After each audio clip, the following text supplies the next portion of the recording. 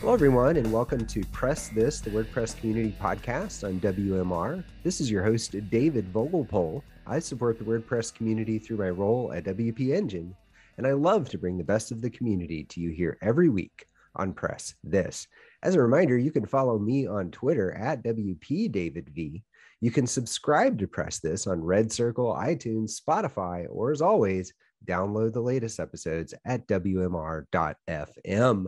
In this episode, we're going to be talking about a journey optimizing enterprise WordPress for blazing speed and more. And I got to see a sneak peek of this. It's really cool stuff.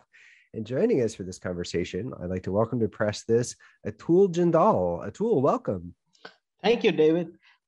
So glad to have you here. And for those listening, what we're going to cover today is uh, Atul's journey optimizing an enterprise WordPress site for blazing fast speed, delightful search, and an optimized approach with Varnish. So we're going to get a little nerdy today. So I hope you have your nerd hat on. Maybe it's nerd glasses. I don't know. I'll have to, have to think about that. Um, cool. Well, kick us off, Atul. I'm going to ask you the same question I ask everyone. Could you briefly tell me your WordPress origin story? When was the first time you used WordPress? Thank you, David. So I'll start with my PHP development. Uh, back in 2007, I started working on PHP as a uh, developer. And then uh, after working for a few years, I started using uh, WordPress back in 2012 for local businesses around the city. And I like the WordPress backend system, and I thought it's very, you know, user friendly to just create the smaller teams with one or two page sites for the local businesses. And then I worked on a couple of other uh, CMSs like Drupal, Joomla, but the WordPress was one of my favorite choice being easy to work on. Uh, and then I started consulting with local firms uh, within the area as well. That's fantastic. So 2012, this would have been two years after custom post types with uh, custom meta fields. Did that have any influence on your decision to try WordPress back in 2012, or you just were hearing about it? Or I'm just curious. Uh, I uh, I had uh, looked up a couple of CMSs, and I was using uh, from 2009 to 2010 Joomla, but uh, Joomla had a lot of complexities for small businesses to use because the URL structures were not that good. They wanted, you know, their websites to be SEO friendly, and WordPress had these things built in and was easy to use. So I preferred WordPress over other CMSs uh, after that, and and then since then I'm using WordPress and I like it. Excellent. I'm getting like a rush of memories here. I had some of the same experiences back then. Um, our prior guest, Mikayak, he uh, he also was a PHP developer and had had transitioned. He was replacing his homegrown CMS. That's what that was his backstory. It's kind of interesting, but a similar kind of journey to yours. Um, so I understand you do some work with Loud Growth, uh, and I was just curious, like, uh, if you could tell me a little bit about them and, and what you do for them, or otherwise.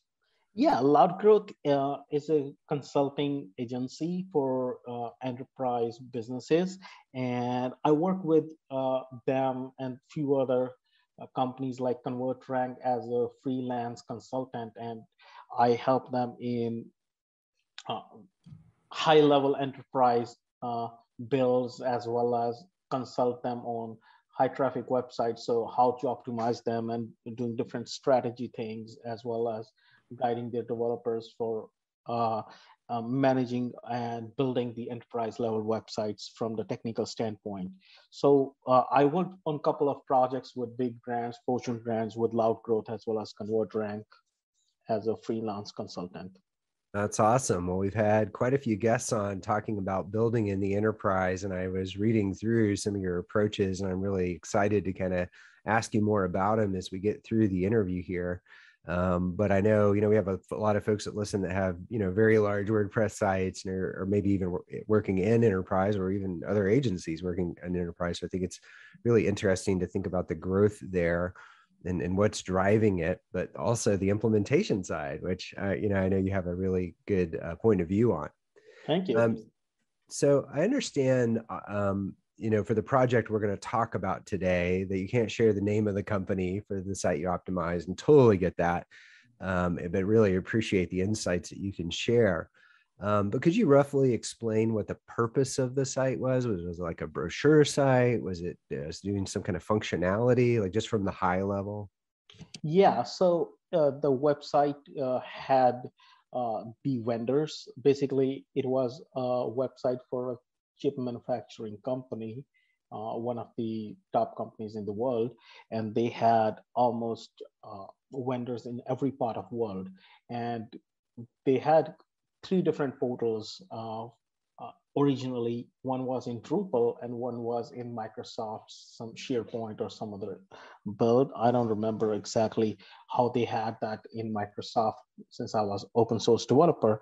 And uh, and one was uh, one portal was their own custom, but they wanted to uh, bring everything all together in one place, and they were using WordPress for uh, for their uh, news and uh, marketing purposes for announcements. And their head of product wanted to use WordPress as a backend solution in which they have everything all together and wanted to manage the vendors through the CMS. So this was a main goal of their uh, project, and they wanted to uh, wanted to have WordPress or Drupal in the solution uh, but the team they had for you know writing and content management really liked the WordPress uh, editor, so they wanted to use WordPress. This is how they chose the WordPress among other other folks in the market. Wow, those are some incredible insights. So they're building a site basically to facilitate relationships with their manufacturing vendors, and they're all over the world. They're a big company. They have yeah. a Drupal in their stack. They have SharePoint in their stack. They have some custom uh, platform in their stack, and they have WordPress in their stack a little bit. And then you say the head of product says they want to use WordPress for that, and that one of the driving decisions was the ease of use of entering the content. I mean, exactly. I think you just wrote like everyone's like proposal for WordPress to the enterprise for them. Um, that was awesome, Atul. Um, yeah. So let me ask you this, right? Like I'm just imagining them over there, like sitting there looking at all these systems and being like, which one are we going to go with for this big important thing? And like obviously, you know, they're not thinking like an SMB would think, right? Like, oh, we have templates, we can make a site fast, right? They're not mm-hmm. thinking like that. Um, so, what do you think like their cons- uh, considerations are for the enterprise when making this kind of decision? Like, it's it, it, surely it's more than just the editor, but like, what what are, how do you think the the con- uh, considerations are different than say how an SMB might look at things? Yeah, exactly. So they had uh, being an enterprise, uh, they had they had a very big consideration about the security in the data because they had all the vendors which were like 400,000 vendors records uh, that was stored originally in Drupal as well as in SharePoint because they had two different working groups. One uh, one working group was using uh, Drupal and one was using SharePoint, and they wanted to consolidate all those uh, 400,000 records in one place.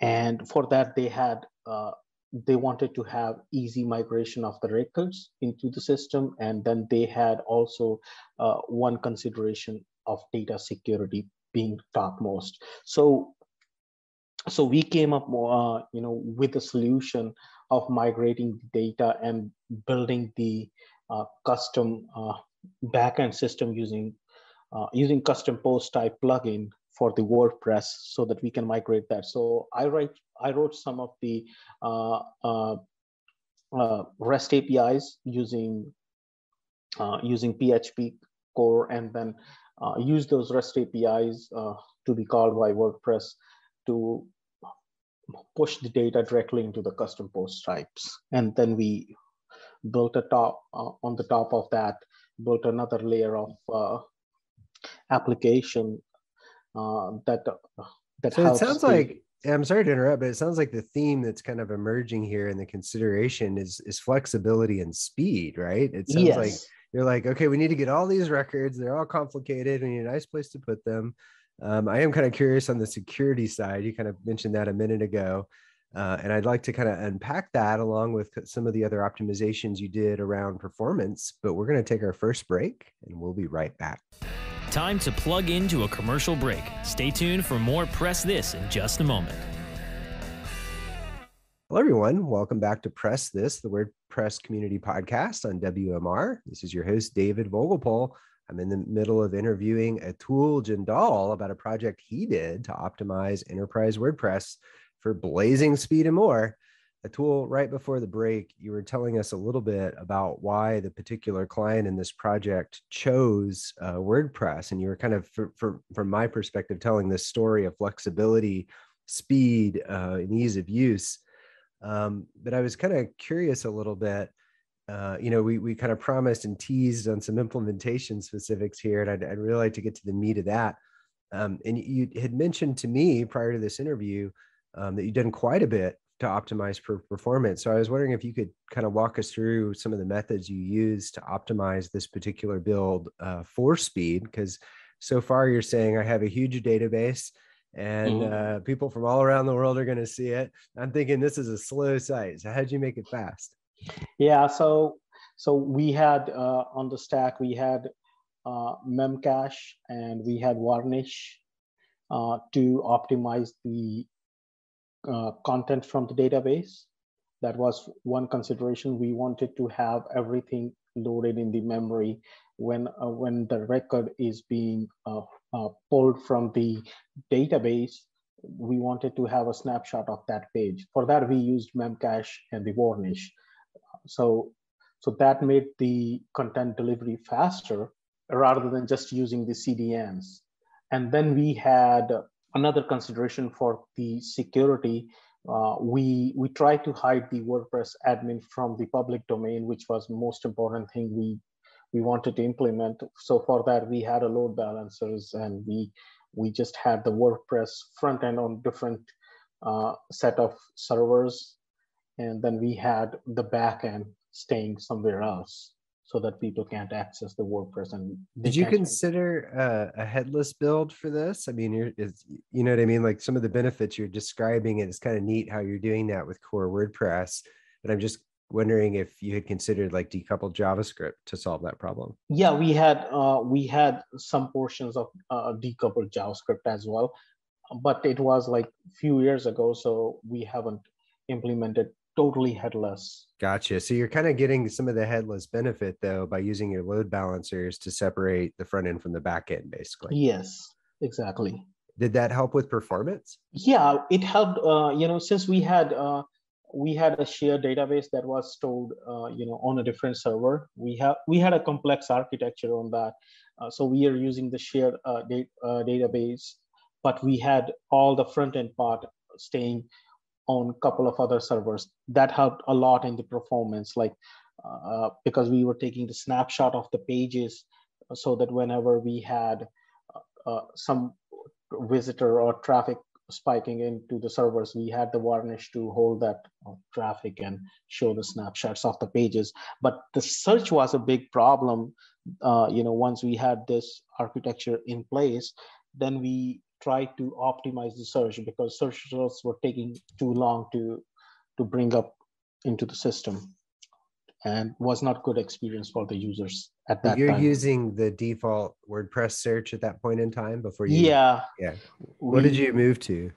We we tried to use Solr search for uh, for optimizing the optimizing the search experience for the users then we we integrated apache Solr because uh, the enterprise didn't want it to go with uh, a premium solution. So they wanted to have everything in house. They don't want to uh, uh, go for the enterprise services. So we used open source Apache Solr for that. Ah, interesting. Yeah, WP Engine, our e-commerce offering includes Elastic Press, which is uh, similar to Elasticsearch but WordPress optimized. Yeah. Um, one of the benefits of that, I'm just curious if you took advantage of that in this build with these other tools, which I'm not familiar with.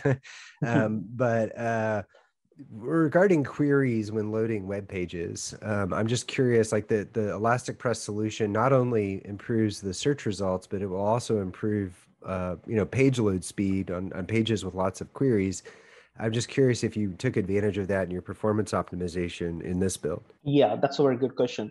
So we uh, we essentially use the uh, Solr search for optimizing search queries, but for the pages with lots of queries, we used Memcache because we wanted to have uh, you know the custom records uh, from the custom fields since WordPress stores uh, all the records uh, in a very uh, very different format, storing the uh, key value pairs in database. So we wanted to have those using the memcache so that you know database doesn't have to run the queries. Yeah, offloading this offloading those search queries all day long, right?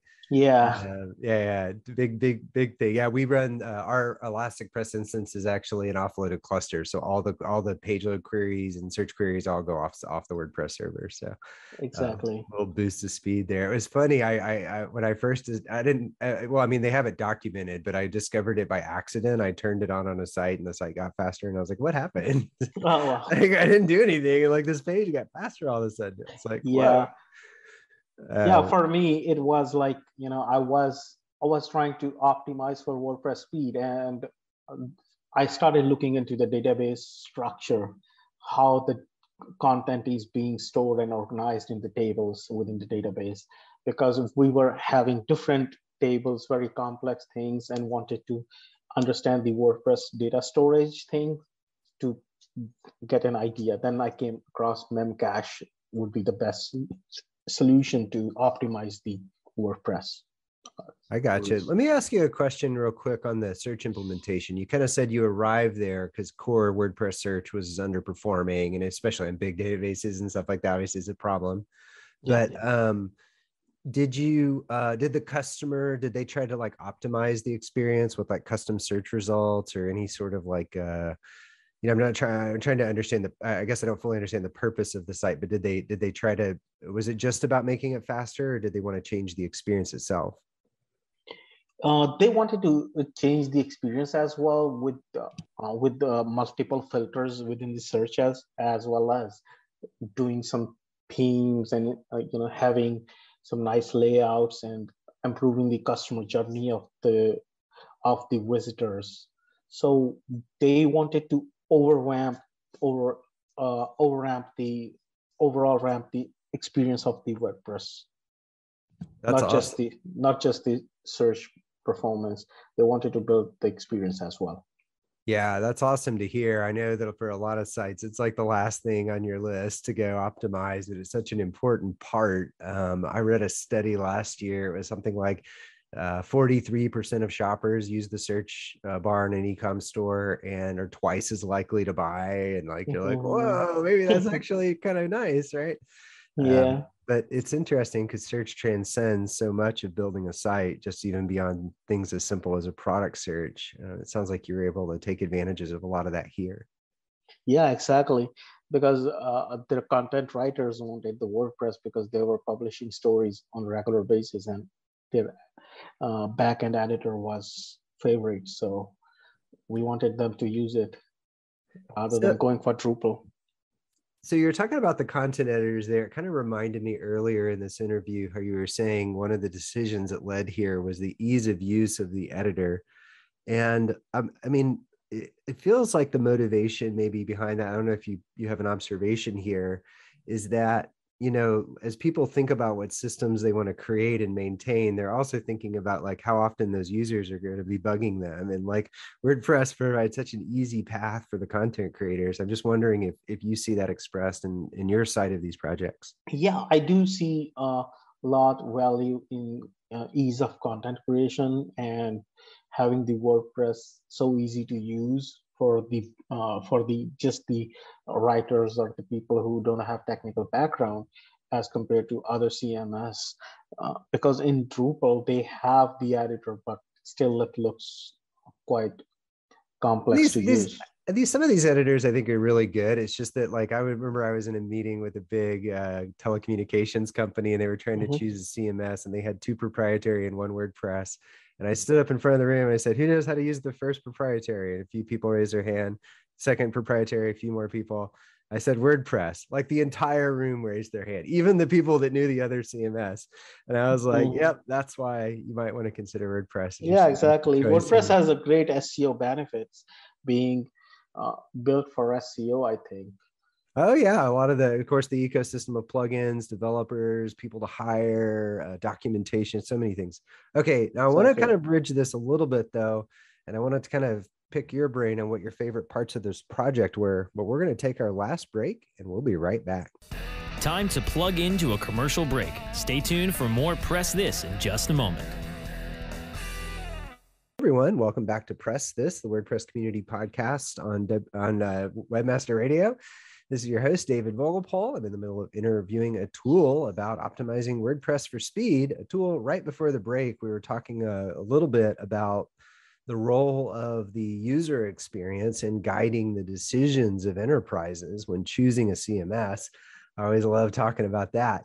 Um, but I kind of want to now leave it open to you. Like yeah, this was a pretty big project for you. You had a lot of complex parts. What was your uh, favorite part of the project and why? Yeah, so my favorite part of project was uh, actually uh, that's funny story. Uh, in the beginning, I was very uh, very excited to use WordPress, but when when it came to the optimizing it, because we started building the things and everything, theme was built up and then installed site went drastically slow because data size was so huge. It was like in gigabytes right? So so then uh then i told them like this is getting slow. We should get something enterprise for uh, either for caching or something. They said no, we uh, we will uh, go with the uh, open source solutions. And then I scratched my head to think about like how should I architect this for and uh, for performance. Then then we had started looking into a couple of options, and we came up with the varnish thing, and Memcache and Solr. So I would say. Uh, for uh, for enterprise websites, uh, the best way is to think about like performance first. That would be uh, my suggestion on this. So it sounds like your favorite part of it, if I could like paraphrase it, is the customer comes in with the requirement to use yes. open source and you're thinking like, oh, I could just you know solve it with this proprietary tool or something, and uh, and then they add the constraint. Constraints are always the fun part of projects, right? And yeah. then now you've got to go like figure it out and architect the open source way. Did you do you think like you're more likely to to like choose open source next time, or do you still think like sometimes those uh, proprietary easy way outs are uh, or, or, are they even that easy? Did you did you find the open source solutions superior for some reason? Uh, no, I think open source are best, and I would go with open source as well if I need to go. The only thing I would say is uh, the things that I uh, that I uh, lost in this project in the beginning was we were not considering the performance based on the data size. We were uh, we were more focused on helping the content marketing team and the uh, user experience guys to build the beautiful design. So ch- choosing over enterprise or choosing over uh, open source uh, entirely depends on the budgets. Sometimes companies have do have the budgets in their pockets to afford a big enterprise solution. Sometimes they just want to uh, have developers scratch their heads and find a solution within the constraints. I like it. It sounds like though, like if you had a lesson to learn from this project, it sounds like like check the performance side earlier in the project. Is that a safe assumption? Yeah, think about that uh, performance rather than just uh, trying to please the uh, UX guys. Yeah, because it's funny because like when I think of UX, I think of it, I often describe it as the balance of suffering and joy. Uh, the joy of bringing a new visual experience to someone and the suffering of page load time you add when you do that. Um, yeah. Yeah. Yeah. Very true. Yeah. You have to keep that balance um, in check to build a performant and good website. Well, this sounds like a really exciting project. Are you, you, you happy you did it? You, you glad it's out the door? Yeah, I really enjoyed it. And I had uh, very, uh, very, uh, very strong learnings from this enterprise level build because we had uh, we had considered uh, uh, how to uh, optimize this infrastructure as well for future developments. So there was a lot of things that I learned in this project. Excellent. Well, you can. That's always a wonderful thing. So glad to hear it. Well, Atul, I really enjoyed hearing your story today and appreciate you sharing it. Thank you so much for joining us here on the show. Yeah, absolutely, David. Awesome. Nice if you'd like, you. Thank you. Thank you. If you'd like to check out some of what Atul's been up to, you can visit loudgrowth.com. Thanks everyone for listening to Press This, the WordPress community podcast on WMR. Again, this is your host, David Vogelpohl. I support the WordPress community through my role at WP Engine, and I love to bring the best of the community to you here every week on Press This.